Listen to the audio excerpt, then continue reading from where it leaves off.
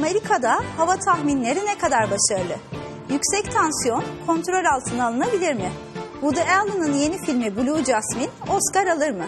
Bunlar bu hafta gündemi oluşturan başlıklardan bazıları. Amerika'dan sağlık, bilim, ekonomi ve sanatla ilgili son gelişmeleri paylaştığımız renkli bir gündemle yine karşınızdayız. Ben Eda Dikmen. Günümüzde kötü hava koşullarını tahmin etme konusunda gittikçe daha başarılı olunuyor. Kullanılan aygıtlar arasında zeplinler, radar istasyonları ve bilgisayar modelleri var. Ancak hortum tahminindeki başarısızlık oranları yıllardır %75'in altına inmedi. Şimdi kameralarımızı Colorado'daki aşırı hava koşulları merkezine çeviriyoruz. Şiddetli Hava Koşulları Merkezi'nin yöneticisi Joshua Worman kasırgaları takip ediyor. Kendine biçtiği görev de belli. Kasırganın kapımızı çalmasını bekleyemeyiz. Hortumun içine doğru girip veri toplamalıyız. Worman'ın hizmetinde bilimsel aygıtlarla dolu bir araba filosu var. Aygıtlar arasında hava koşullarını ve havada hareket eden nesneleri okuyan bir Doppler radar da bulunuyor. Worman ve ekibi kamyonetlerin içinden kasırganın ilerleyişini izliyor. Bilgisayar ve radar ekranlarından gözlem yapıyorum. Bunlar rüzgarın, uçuşan enkazın ve hortumda oluşan dolu fırtınasının üç boyutlu görüntüleri. Worman bir Doppler radarını mobil hale getiren ilk kişi. Ekibiyle beraber 1990'lardan bu yana 200 hortumdan veri toplamışlar. Uzman aldıkları görüntülerin sabit radarlara göre çok daha berrak olduğunu söylüyor. Rüzgarın oluşumunu izleyebiliyoruz. Böylece yağmurun ya da dolunun havanın aşağı ya da yukarı hareketine etkisini de görebiliyoruz. Havanın soğuk mu sıcak mı olduğunu görebiliyor ve bunun hortum oluşturup oluşturmadığını inceliyoruz. Ekip aynı zamanda hortumun geçtiği yüzeylere yerleştirilen hava durumu kapsülleriyle radarın okuma yapamadığı yüksekliklerden veri topluyor. Worman öğrendiklerinin fırtınaların sıkça uğradığı bölgelerde bina tasarımına yardımcı olabileceğini söylüyor. Binalar yerden inşa edildiğine göre biz de rüzgarın nasıl hasara neden olduğunu ve havada uçuşan kalıntıların rüzgarla etkileşimini ve bunun oluşan hasara etkilerini anlamalıyız. Bilim insanları hortumların oluşumunun döngüsel modellerini yaratarak hangilerinin büyüyeceğini, hangilerinin yok olacağını anlamaya çalışıyor. Ayrıca Doppler radarlarını da kullanıyorlar. Gustav hortumunu Louisiana'da sahilde bekleyen ekip kasırga sahile vurduğunda yüksek çözünürlüklü görüntüler ve ölçümler elde etmiş. Worman, görüntülerdeki rüzgarların sarmal hareketlerinin kendilerini şaşırttığını söylüyor. Bu sarmal hareketlerin iki sonucu var. Birincisi güçlü rüzgarlar yere doğru hareket ediyor. Güçlü rüzgarlar daha çok hasar bırakabiliyor. Ayrıca yukarı hareketlenmede de bu rüzgarlar okyanustan ısı ve nem taşıyor. Bu da hortumu besliyor. Bu rüzgarların incelenmesi meteorologlara fırtınanın gücü hakkında fikir verebilir ve bu da tahminlerin daha doğru yapılmasına yarayabilir. Worman bunun birçok kişinin hayatını kurtarabileceğini söylüyor. Selin Süer Ünlü, Amerika'nın Sesi Washington. Amerika'nın Sesi Washington'dan güvenilir haber 70 yıllık deneyim.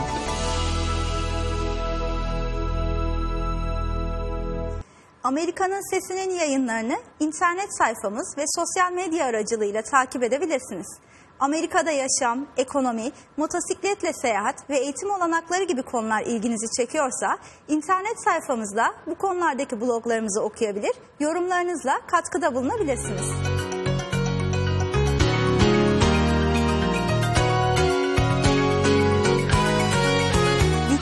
Sanat Enstitüsü Müzesi dünyanın birçok yerinden çok sayıda değerli resim ve heykele ev sahipliği yapıyor. Bu eserlerin tümü Detroit kentine ait. Kentin iflas ilanından sonra birçok kişi bu koleksiyonların borç ödemeleri için satılmasından kaygı duyuyor. Müzedeki 60 binden fazla eser Amerika'nın en önemli sanat koleksiyonlarından birini oluşturuyor. Müzenin ziyaretçileri Van Gogh'un otoportresini çok yakından görme imkanına sahip. Ya da Williams Adolphe Bouguereau'nun bir resimden çok fotoğrafa benzeyen fıstık toplayıcıları tablosunu görmek mümkün. Virginialı pilot Terence O'Toole'u buraya getiren ise Diego Rivera'nın otomobil sektörü için yaptığı duvar resimleri olmuş. Buraya gelip duvar resimlerine bakarak fabrikanın kültürel çeşitliliğini görmenin ilginç olacağını düşündüm. Müzenin koridorlarına dikkatle bakarsanız her eser hakkında bilgi veren plakalar vardır. Ve bu plakaların birçoğunun altında Detroit şehri tarafından satın alınmıştır yazıldığını görürsünüz. Burayı birçok önemli müzeden ayıran da kentin, binanın ve sanat koleksiyonlarının sahibi olması. Detroit'in acil durum yöneticisi Kevin Orr'un iflas başvurusunda bulunmadan önce müzenin envanterini soruşturmuş olması sanat dünyasında ve Detroitliler arasında öfke yarattı. It's a slam against Bu kent halkına ve bölgede yaşayan herkese atılmış bir tokattır. John King kitap dükkanı sahibi ve Detroit nüfus kaybederken kentte kalmayı seçenlerden. Ona göre müzenin devamlılığı kentin azalan moralini koruyabilmesi için önemli. King, alacaklıların Detroit'i buradaki eserleri satmaya zorlamasından korkuyor. It's sad that they're even talking about going after that asset. I mean, Bundan bahsetmeleri bile üzücü. Satabilecekleri başka mal mülk var. Müzeye dokunulmaması gerekir. Finans profesörü Amiyatosh Pranandan, Michigan Üniversitesi Rose İşletme Okulu'ndan. Profesör, koleksiyonun toplam değerinin Detroit'in borçlarının yanında küçük kaldığını söylüyor. I would just point out that you're looking at 18 billion 18 milyar dolarlık bir borçtan söz ediyoruz. Sanat müzesi bunun sadece 1-2 milyar dolarını karşılayabilir. Satış gerçekleşse bile bu gelir kentin sorunlarını çözmez. Teker teker satmak da çok üzücü olur. Terence O'Toole ayrıca koleksiyonu satmanın Detroit'in en çok gereksinim duyduğu şey olan turizme zarar vereceğini düşünüyor. Müze ziyaretçi çekiyor ve nakit akışı sağlıyor.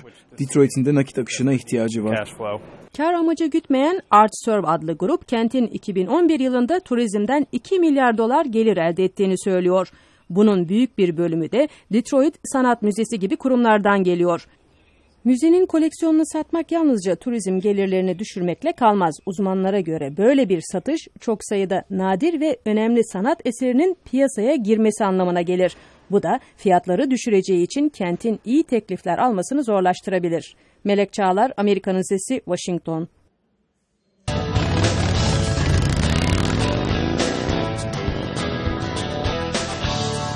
Motosikletli kız Amerika'da, Amerika'nın sesinde.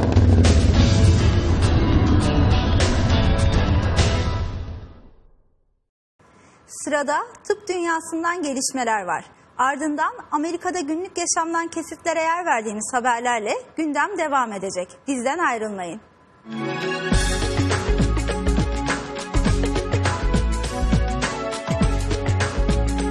Yüksek tansiyon bütün dünyada çok ciddi bir sağlık sorunu.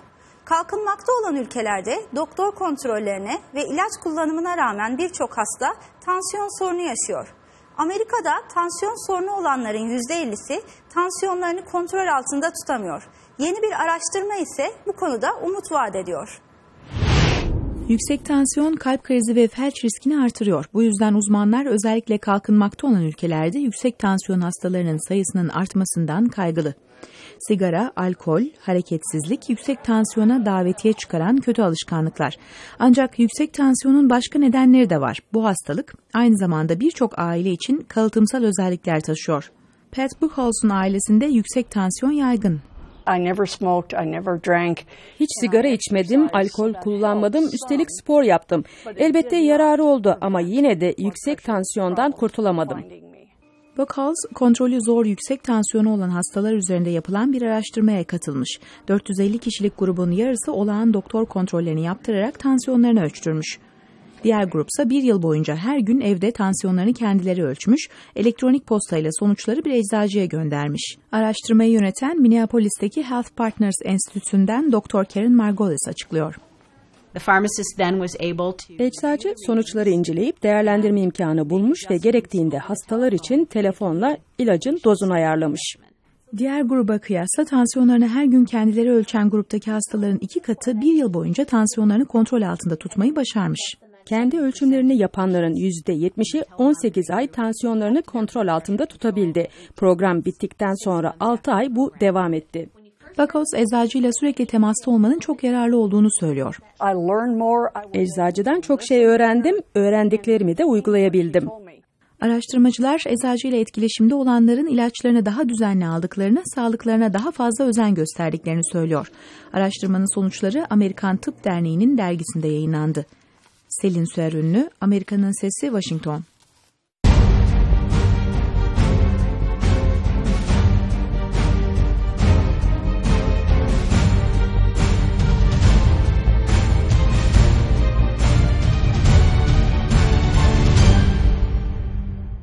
Amerika'nın Sesi'nin televizyon yayınlarını İnternet üzerinden istediğiniz zaman izleyebilir ve günlük haber özetlerini elektronik postayla almak için kaydınızı yaptırabilirsiniz. Bize ulaşabileceğiniz adres amerikanunsesi.com. TGRT Haber kanalıyla yaptığımız televizyon yayınlarını Salıdan Cuma'ya 20.45'te izleyebilirsiniz. Pazar akşamları yayınlanan gündem programının yanı sıra hafta içi her gün 17.30'da başkent Washington'dan yaptığımız canlı bağlantılarla Amerika'dan son gelişmeleri izlemeye devam edin.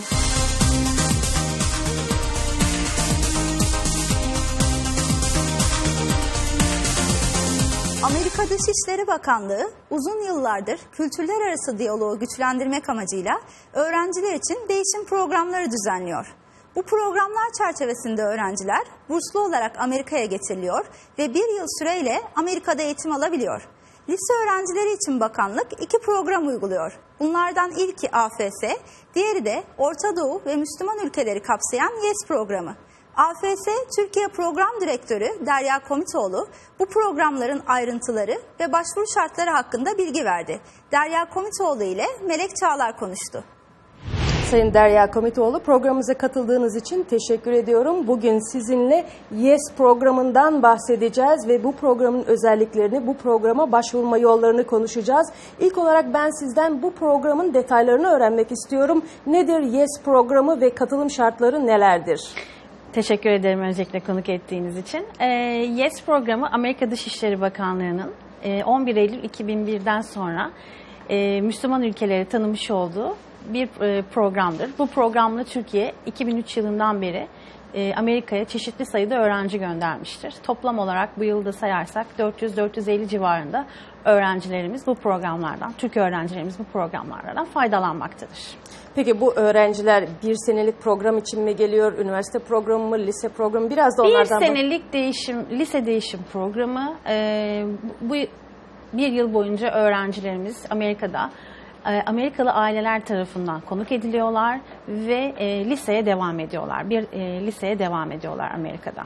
Bu lise 1 de olabilir, lise, lise 2 de... 1 de olabilir, lise 2 de olabilir. E, sadece son sınıf olamaz. Çünkü son sınıfla Amerika'ya öğrencilerimizi gönderemiyoruz. Peki ben hemen şunu sorayım. Bu programla ilgilenen bir öğrenci nasıl başvurabilir ve hangi kriterlere göre kabul çok, edilme şansı çok var? güzel. Ee, Türk Kültür Vakfı e, AFS değişim programlarının www.afs.org.tr web sitesinden başvurularını online olarak yapabilirler. Başvuru kriterlerimiz arasında e, zaten bunları web sitemizde görecekler. E, Türkiye Cumhuriyeti vatandaşı olması, eğitim seviyesinin akademik olarak iyi bir noktada olması gerekiyor öğrencinin. Doğum tarihi kriterlerimize uygun olması gerekiyor ve e, ailesinin maddi durumunun e, zayıf olması gerekiyor. Çünkü akademik açıdan başarılı, ailesinin maddi durumu zayıf olan öğrencilerin programdan faydalanmasını biz istiyoruz. Peki bu yıl örneğin hangi doğum yılına sahip olanlar başvurabiliyor bu yıl için? Bu yıl e, başvurularımızı tamamladık. E, seçim süreçlerimizi bitirdik. E, bu yıl için konuşursam yani 2012-2013 yılı için konuşursam 1 Ağustos 95 ve 1 Ağustos 98 arası öğrencilerimizi aldık. 2013-2014 dönemi için yani önümüzdeki sene için başvuracak olan adaylarımızın 1 Ağustos 96'dan itibaren başvuruyor olmaları gerekecek. Peki ben şunu sorayım. Bu programla Amerika'ya gelen bir öğrencinin masrafları nasıl karşılanıyor? Bütün masrafları Amerika Dışişleri Bakanlığı tarafından karşılanmaktadır. Türkiye içerisinde şehirlere göre bir kota e, sayınız var mı yoksa herhangi bir yerden? Büyük şehirlerde var ama önceliğimiz daha çok e, İstanbul, Ankara, İzmir dışındaki diğer büyük şehirlerden öğrencilerin bu programdan faydalanmasıdır. YES programı 11 Eylül terör saldırılarından sonra oluşturulan bir program ve özellikle Müslüman ülkeleri hedef Evet. alıyor. Bununla birlikte AFS programı çok daha uzun dönemli bir program ve halen devam ediyor. Şimdi bu iki program arasındaki farkı bize anlatabilir misiniz? Tabii ki. E, AFS programları önümüzdeki sene dünyada 100. yılını kutlayacak. Türkiye'de bu sene 60. yılını kutluyor. Hatta bunlarla ilgili çeşitli etkinlikler düzenliyoruz. E, değişim programları içerisinde lider olan bir program AFS. Eski ismiyle American Field Service, işte Amerikan Sağ Hizmeti. E, ama yıllar içerisinde kendini geliştirerek e, AFS Intercultural Programs yani AFS Kültürler Arası Program lar şekline gelmiş olan bir program. E, bu programla Türkiye e, 1952 yılından beri yurt dışına başta Amerika olmak üzere öğrenci göndermekte. 1974 yılında Türk Kültür Vakfı AFS gönüllüleri tarafından kurulmuştur. E, ve faaliyetlerini AFS programları üzerinden ilk başlarda sürdürmekteydi. Fakat yıllar içerisinde dediğim gibi değişiklikler olduğu için 1993 yılından itibaren ise vakfımız, Türk Kültür Vakfı e, partnership anlaşmasına geçerek, ortaklık anlaşmasına geçerek çeşitli sayıda ülkeye yani şu anda yaklaşık 39-40 ülkeye biz network içerisinde öğrenci göndermekteyiz. Artık sadece Amerika'ya değil, çeşitli birçok ülkelere, Latin, Asya, Avrupa olmak üzere her tarafa öğrenci gönderiyoruz. Peki bunlar yine burslu öğrenci mi yoksa masrafları aileler mi Ee, karşılıyor? Vakfımız, vakfımızın temel amacı e, öğrencilerin programdan fazlasıyla faydalanması. Belirli bir bütçemiz var. O bütçemiz doğrultusunda tabii ki öğrencilerimize burs vermeye çalışıyoruz. Ama e, dışarıdan finansal desteklerde zorlan biliyorsunuz zorlanılıyor. E, o yüzden ailelerin maddi katkısı ve desteği bizim için önemli oluyor. Ama burs verdiğimiz kısmi ya da tam burs verdiğimiz öğrencilerimiz programımızın %30-35'ini kapsamaktadır her Peki. sene. Peki Türkiye'de bu programlara duyulan ilgi hangi düzeyde? Çok yüksek düzeyde. Şöyle ki e, AFS programlarına her yıl 1500'e yakın öğrenci başvuruyor. YES programlarına da aynı şekilde. E, hatta bu sene daha da fazlalaştı YES programlarına. E, yoğun yoğun bir talep var. O yüzden de bizim e, seçim sistemimiz e, öğrencilerimizi elemek durumunda kalıyoruz seçim sisteminde. E, Üç aşamadan oluşturuyoruz. Özellikle YES için söyleyeyim. Yazılı, e, sözlü mülakatımız var ve arkasından da öğrenciler bir İngilizce seviye tespit sınavına girerek e, öğrencilerin durumlarına bakıyoruz. Bu programa ilgi duyan öğrencilere, bu programa başvurmak isteyen öğrencilere hazırlık anlamında neler önerirsiniz, neler tavsiye edersiniz bu programı başvurdukları anda daha başarılı olabilmeleri açısından? Programımıza e, ilgi çok yüksek dediğim gibi. E, öğrencilerin bir kere dünyayı ve kendilerini bilmeleri gerekiyor. En önemlisi dünyada neler oluyor. Baktığımız temel şeylerden bir tanesi. YES programı için söylüyor söylersem akademik açıdan başarılı olmalarını bekliyoruz ve istiyoruz. E, ve kendilerini bilmeleri, kendilerini tanımaları ve kendilerine bu program için uygun olup olmalarını uygun olup olmamalarını tartmaları lazım. Çünkü sonuç olarak programlarımız kişisel gelişim üzerine kurulu. Sonuçta Türkiye'den ayrılıp Amerika'ya gelecekler. Hiç bilmedikleri bir ülke, hiç bilmedikleri bir aile ve okul ortamı ve arkadaş ortamında olacaklar. Biz onları turist olarak değil, buraya yaşamak üzere gönderiyoruz. Onun için öğrencinin kendini biraz tanıması gerekiyor başvurmadan önce. Ayakları üzerinde durması lazım. Hayata karşı duruşunun net olması gerekiyor. Sayın Derya Komitoğlu verdiğiniz bilgiler için teşekkür ediyorum. Ben çok teşekkür ederim. Amerika'nın kalbi Washington'dan canlı yayınla Türk-Amerikan ilişkileri, Amerika ve dünya gündemi, küresel ekonomi, siyasi yorumlar, tartışmalı konular. Uzman konuklarla Amerika'nın sesinde. Ben Selin Süer Ünlü. Amerika'nın Sesi Türkçe bölümünün haberleriyle hafta içi 20.45'te Washington'dan canlı yayınla TGRT Haber'de karşınızdayız. Kaliforniya eyaletinde kontrolden çıkan yangınlar nedeniyle eyalet ülkenin en deneyimli itfaiyecilerine sahip. Aynı zamanda yangınları söndürmede mahkumlardan da yararlanılıyor. Gördüğünüz kişilerin tamamı mahkum. Ancak günlerinin büyük kısmını hapishane duvarlarının dışında geçiriyorlar. Fiziksel durumlara uygun olan ve şiddet suçu işlememiş mahkumlar itfaiyeci olarak görev alabiliyor. Hırsızlıktan mahkum olan Louis Orozco programa katılanlardan. It's pretty exciting. It's an adrenaline rush. Uh, Oldukça heyecan verici ve de eğlenceli. Gidip yangınla mücadele etmeniz yüzlerce metre kayalık arazide, bazen kumlu arazide tırmanmanız gerekiyor. Hem de elinizde aletlerle. Mahkumlar yangınla mücadele ve yangının yayılmasını engellemek amacıyla arazi temizliğinde de kullanılıyor. Ancak Ormancılık ve Yangından Korunma Dairesi'nden Mike Moller, mahkumların katkısının yangınlarla sınırlı olmadığını söylüyor. Mahkumlar sellerde ve arama kurtarma çalışmalarında da kullanılıyor. Yılda 2,5 milyon çalışma saati yalnızca acil durum müdahalelerine harcanıyor. Eyalette 4000'den fazla mahkum itfaiyeci olarak çalışıyor. Kevin Kraus 7 yıldır mahkum itfaiyecilerle denetmenlik yapıyor. Onlara itfaiyeciymiş gibi davranıyorum. İtfaiyeci gibi hareket etmelerini bekliyorum ve onlara eğer kahraman olmak istiyorsanız çaba gösterin. Eğer istemiyorsanız hapishanede oturun diyorum. Bu onların seçimi. Kraus mahkumların zor ve hayati tehlikesi olan bu işi hapis hayatına tercih ettiklerini söylüyor. Devam etmeleri onlar için avantajlı. Birçoğu çalıştıkları her gün için mahkumiyetlerinden indirim alıyor. Ayrıca ufak bir maaş da alıyorlar. Mahkumlar önceleri ucuz işçi olarak kullanılıyordu ancak yıllar içinde program gelişmiş. Bugünlerde mahkumları rehabilitasyonları için çalışılıyor ve itfaiyecilik dışında beceriler öğretiliyor. You can learn new, uh, Yeni meslekler öğrenebilirsiniz. Burada bir kaynak atölyesi var, araba tamirhanesi var. Ben grafik atölyesinde çalışıyorum.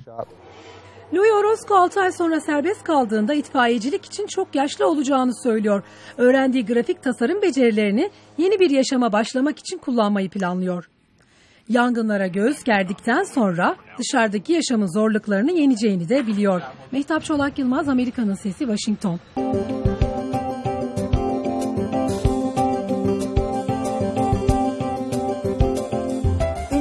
Yönetmen Woody Allen'ın yeni filmi Blue Jasmine, Mavi Yasemin, 2008'deki borsa kriziyle hayatı alt üst olan zengin bir kadının öyküsü. Çok ses getiren Mavi Yasemin'in şimdiden Oscar adaylığı için adı geçiyor. Jasmine. Oh my God. Look at you. Your place is homey. Oh, the flight was bumpy. The food was awful. I mean, you'd think first class. I, thought you were tapped out. I'm dead broke. Really, I mean, the government took everything. You nuts. New York sosyetesinin ünlülerinden Jasmine'in hayatı kocasının yatırım yolsuzluğunun ortaya çıkmasıyla alt üst olur ve Jasmine San Francisco'da kasiyer olarak çalışan kız kardeşi Ginger'a sığınır. Beş parasız kalan Jasmine huzuru anılarında, hayallerinde ve alkolde arar. Jasmine karakteri milyarder borsacı Bernie Madoff'un karısı Ruth Madoff'a dayanıyor. Yatırımcılarının milyarlarca dolarını batırarak hüküm giyen Bernie 150 yıl hapis cezasına çarptırılmıştı. I fell in love with the name Jasmine. Is there anything you want that you don't have? Woody Allen'ın daha önceki filmleri gibi Blue Jasmine'de bir karakter analizi. Tek fark bu karakterin yönetmenin önceki filmlerindeki gibi depresyon geçiren ama affeden bir kadın olmaması. You choose losers because that's what you think you deserve, and that's why you'll never have a better life. She doesn't care about you. She's a phony. Woody Allen ünlü yazar Tennessee Williams'ın ihtiras tramvayındaki mutsuz Blanche Dubois karakteriyle de paralellik çiziyor. Just remember what Huey Long said that every man's a king and I'm the king around here. And don't you forget it. Bu filmde Blanche Dubois tıpkı Jasmine'in kız kardeşinin erkek arkadaşıyla tartıştığı gibi hoyrat kayınbiraderiyle kavgaya girişiyor. Woody Allen Blue Jasmine'de hayatlarının merkezi sadece zenginlik ve nüfuz olan kişilerin kibrini de ortaya koyuyor. It's Al. Give me that. That's the guy. Al. Hi. Yeah. Yeah. But you're calling it a. Yeah. Give me that. Ünlü oyuncu Kate Blanchett tek varlığı olan parasını kaybedince kabuğuna çekilen Jasmine karakterini büyük bir başarıyla canlandırıyor. One minute you're hosting women, and the next you're measuring their shoe size and fitting them. Blue Jasmine'de oyuncu ekibi Wall Street krizi sırasında yaşanan acıları çok gerçekçi bir oyunla ortaya koyuyor. Jasmine'in başına gelenler sinema severlere oh olsun dedirtebilir belki ama çöküşünü izlemek gerçekten üzücü. Hülya Polat, Amerika'nın Sesi, Washington. Amerika'nın Sesi'nin televizyon yayınlarını internet sitemizde istediğiniz zaman izleyebilirsiniz. Ayrıca sitemizdeki haberlere internete açık cep telefonlarınızdan da ulaşmanız mümkün. Bunun için yapmanız gereken amerikaninsesi.com adresine girmek.